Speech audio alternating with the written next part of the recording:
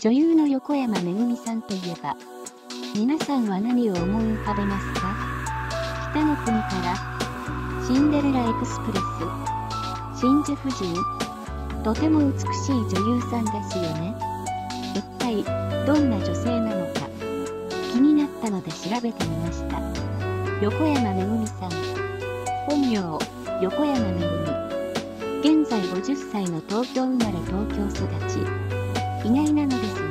高校時代は陸上部に所属しながら、バービーボーイズのコピーバンドや、アン・ルイスのコピーバンドの、2つのバンドを掛け持ちしていたんだとか。北の国からの後に、しばらく学業に勤しんで、青山学院文学部第2部教育学科卒業し、3回生の時には卒論以外の単位は、全て取っていたそうです。兄弟は兄が1人いて、なんと、1990年当時、日本ジュニアバンタム級、チャンピオンだった鬼塚克也の、初防衛戦の相手を務めた、元プロボクサーの横山智彦さんだとか、芸能界入りのきっかけは、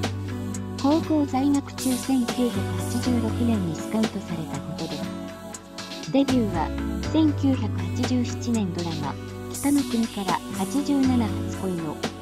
黒板潤の初恋相手の大里玲役で女優デビュー。続けて北の国から89期境北の国から90ミス待ち北の国から95秘密まで出演しています。なんと30人の中から選ばれたのすが、もともと彼女自身はオーディションに出る気はなくただ友達についてきただけだったらしく、結局、友達が出られなくなり、代理で出たら合格したんだとか。しかし、いきなり、倉本壮さんの作品でデビューなんて、やはりただものではありません。その後、横山めぐみさんのレイちゃんに、ハートをわしづかにされた男たちは、あの山小屋のストーブの前での、レイちゃんの想定外の下着姿に、漏れなく飲んでいたはずのお茶が開いた口から流れ出したのは言うまでもありません。純との出会いは学校の帰り道に自転車のチェーンが外れて直してくれた時から親密になり一緒に東京の高校に進学する約束でしたが父親が農業に失敗したため叶わなかったんでしたっけその後いろいろあって純とは結局別れてしまうのですが、私が最も印象に残っているのは、純とレイちゃんが雪の中を歩きながら、卒業式の後、二人で札幌に行かないそんなこと言ったら純くん、困るとつぶやいて、吹雪の中で白い溝を、自分の方に押し当てて目を閉じていた。あの、レイちゃんの光景は、今でも思い出すと胸が苦しくなり、窒息しそうになり。その後も、ドラマや CM、バラエティなど、マルチに活躍されている横山めぐみさん。中でも、CM で印象的だったのは、なんといっても、1992年には、JR 東海のシンデレラエクスプレスの CM。当時の JR 東海の CM は美少女女優の登竜門で、牧瀬里穂さんや深津絵里さんも、この CM でブレイクしています。ユーミンの曲が流れる中、恋人が乗った新幹線が動き出すと同時に、走り出して車窓越しに何かを語りかけるシーンが、爽やかでもあり切なくて、何とも言えません。そんな順風満帆の女優人生の中、1995年、26歳で結婚されます。お相手は6歳年上の男性で、大川康さんという男性で、俳優やナレーターをされていて、俳優としてはドラマ、のんちゃんのり弁が、女医などに出演しています。ナレーターとしては、NHK、ETV 特集や JR 東海やキューティー等の CM を担当しています。しかし、残念ながら、1年間の別居の後、7年半後の2002年12月に離婚。原因は、お互いの価値観が違ってきた。理由だと言われていますが、実はそれにはあるドラマが関係していました。そのドラマとは、真珠夫人。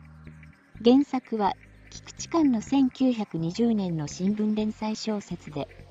横山めぐみさんの女優としての新境地を開拓したドラマです。劇中、父の借金のせいで、成金富豪に嫁がされた、瑠璃子という妖艶な未亡人を演じた、横山めぐみさん。ドロドロの愛憎劇の中で、次々に男たちを手玉に取っていく。体を張った熱演で、瞬く間に、世の昼メロファンの圧倒的な支持を得ました。しかし、逆にドラマの大ヒットによって、夫との時間がなかなか取れなくなり、すれ違いが多くなってしまったからだと言います。しかしながら、こんな美女を世間の男たちが、放ったままにしておくはずはありません。2006年5月に再婚されています。しかし、そのお相手が、ドラマを彷彿とさせるような、とんでもない大物だったことによって、俺にもチャンスが巡ってきた。と、一縷の望みをつないでいた。世の横山めぐみファンの男性たちの、ケスケのハートを速攻で、粉々にしたと言います。果たしてそのお相手とは、二部守さんという男性、元アメリカンエクスプレスの副社長で、2018年3月からは J フロントリテイリング株式会社、実行役現 JFR カード株式会社、代表取締役社長という、バリバリのエリートビジネスマンの方。しかも学歴も東京大学文学部卒で、米ニューヨーク大学で MBA を取得されています。日本経済界では知らない者がいない人物。その年収も2500万円以上と言われ、結婚当時に外資系セレブ男性と玉残し婚と、大きく騒がれたのも無理はないですね。お二人の馴れ初めは、共通の友人からの紹介らしく、その当時、横山さんが二戸さんの会社のアメックスのプラチナカードを使ってたことで意気投合したそう。お互いに出会ってすぐ結婚を意識したのだとか。しかも出会って3ヶ月後には同棲してたそうです。お二人ともバツイチだったので結婚は慎重に考えた上で決断したとはいえ、よほど馬があったんでしょうね。